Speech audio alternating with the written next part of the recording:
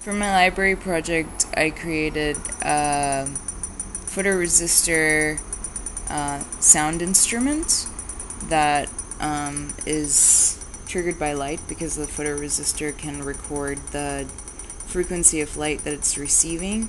And here it is and I know that this video is not such good quality but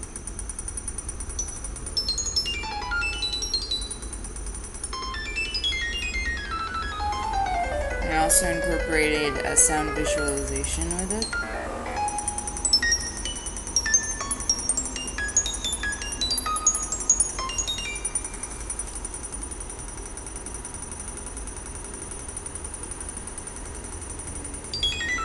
So as I cover the photoresistor, depending on how much light I let it see, it changes the notes. The less light, the deeper the stones.